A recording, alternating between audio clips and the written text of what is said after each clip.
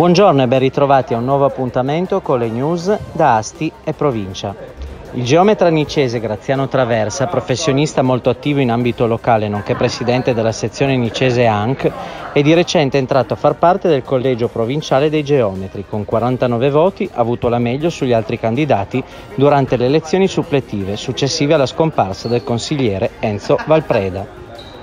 Incidente nella mattinata di ieri intorno alle 8 in frazione Casabianca di Asti. Una ragazza che stava andando a lavorare in bici è stata urtata da un'auto che si è immediatamente fermata e il cui conducente ha chiamato i soccorsi.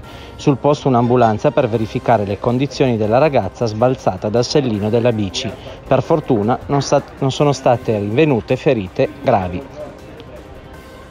Nizza annullata l'edizione 2021 della Corsa delle Botti. Assessore Lovisolo, fino all'ultimo abbiamo valutato la possibilità di organizzare qualcosa di alternativo. E con questa notizia è tutto, un saluto e un ringraziamento da parte della nuova provincia, Asti e il suo giornale.